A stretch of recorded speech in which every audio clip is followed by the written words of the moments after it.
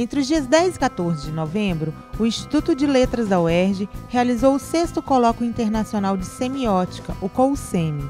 O evento recebeu participantes de diversas partes do Brasil e do mundo empenhados no desenvolvimento das linguagens. Darcília Simões, coordenadora do evento, destacou que um dos desafios é transformar o referencial teórico da semiótica em suporte metodológico que utiliza como matéria-prima as palavras, as imagens e tudo o que possa gerar significado. Hoje em dia não é mais possível você trabalhar com texto verbal puro. Você tem que trabalhar com texto multimodal, sobretudo porque a internet entrou na nossa casa, entrou nos nossos celulares e os nossos alunos estão com o smartphone na sala de aula.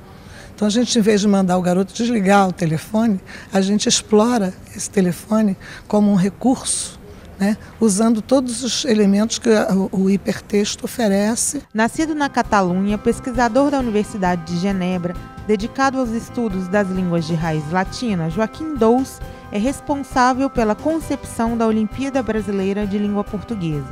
Ele acredita que o intercâmbio de informações atua como um facilitador na aprendizagem e que a introdução dos suportes tecnológicos pode contribuir no processo de ensino. Mas sempre quando você faz em paralelo um estudo em várias línguas, o feito de trabalhar em outros sistemas linguísticos, no funcionamento do discurso, enriquece a própria visão e a compreensão da própria língua.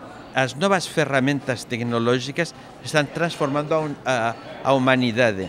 Então, mais que ter um preconceito, não, temos que analisar como se usam as ferramentas e quais são as potencialidades para a comunicação geral e também no ensino. Embora reconheça a importância da tecnologia, Felipe Lacerda, professor de português da Rede Municipal em Duque de Caxias, destaca os muitos desafios e as deficiências enfrentados. Ele acredita que a participação no COUSEMI pode contribuir para enriquecer e modificar o processo de ensino e aprendizagem na rede pública. Pelo menos a minha experiência nas escolas públicas, elas ainda estão muito distantes de, desses multiletramentos, né, do, da utilização das tecnologias em sala de aula. Com algumas exceções e com muita dificuldade, você consegue usar um data show e com muita raridade a sala de informática, por exemplo.